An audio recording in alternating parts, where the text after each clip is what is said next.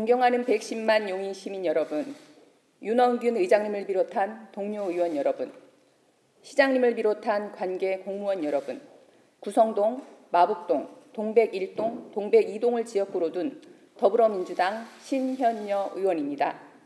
본 의원은 지난번 국지도 23호 선과 석성로의 직결에 대해서 발언한 바 있습니다. 현재 용구대로, 석성로, 동백 죽전도로는 출퇴근 시간대를 전후하여 교통 정체가 극심한 상황입니다.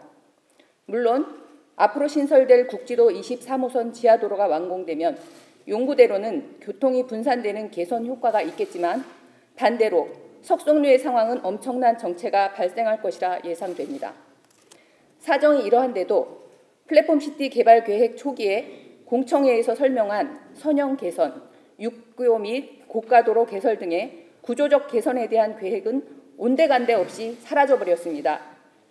표에서 보시는 바와 같이 석성로와 용교대로가 만나는 지점인 구성 사거리와 동백 죽전대로와 석성로가 교차하는 구성 교차로는 플랫폼시티 광역교통 개선 대책 최종 보고서를 보면 하루 220만 통행이 발생되고 이 일대는 수천 대의 차량들이 몰릴 예정입니다.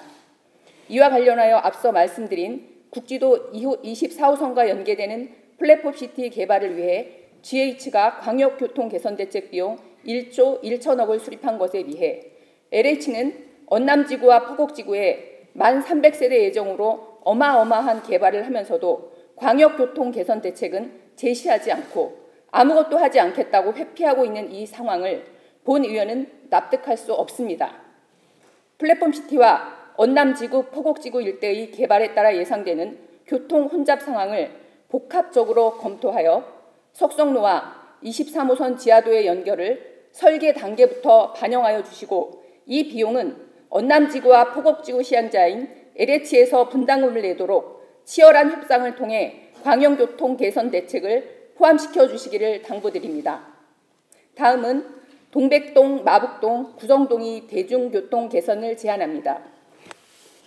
본 의원은 8,500여 명 동백 주민들의 간절한 염원이 담긴 신분당선 출퇴근 순환버스의 증설을 요청하는 시민 서명부를 전달받았습니다.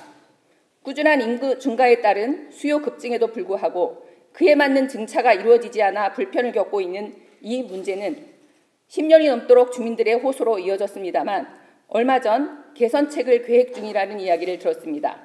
이 자리를 빌려 동백, 구성, 마북 주민들의 20년 민원인 대중교통 확충을 위한 개선책 모성을 위해 노력해 주신 교통건설국장님, 대중교통과장님, 버스 운양팀장님을 비롯 집행부에 깊이 감사드립니다. 하지만 이용하는 주민들의 바람과는 큰 괴리가 있어 몇 가지 제안하고자 합니다. 동백에서 구성역 종점인 810-2번을 상현역으로 연장 및 증차를 통한 7분대 배차, 동백 상현역 77번, 기흥역 방향인 810-1번과 동백 순환버스인 501번, 사송동의 종점인 390번의 증차 및 배차 간격 단축을 요청합니다.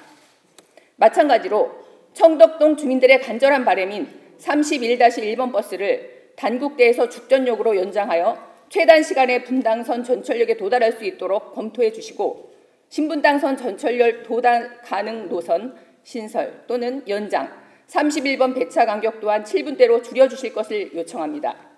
또한 기사 수급의 어려움으로 계속 축소된 동백동의 26번, 26-1번, 26-2번 버스를 인가 대수만큼 운행하게 해주시고 분당선, 신분당선의 최단 시간에 도달할 수 있는 노선 신설 검토와 배차 시간 단축을 요청합니다. 그렇게 될 때 주민들은 준공영제 시행을 실감하게 될 것입니다. 마지막으로 1만여 명 주민들의 도민 청원으로 도지사의 답변을 기다리고 있는 동백 신봉 도시철도가 경기도 도시철도망 계획에 반드시 수립될 수 있도록 경기도 철도 정책과와 긴밀히 소통해 주실 것을 간곡히 당부드립니다. 끝까지 경청해 주셔서 감사합니다.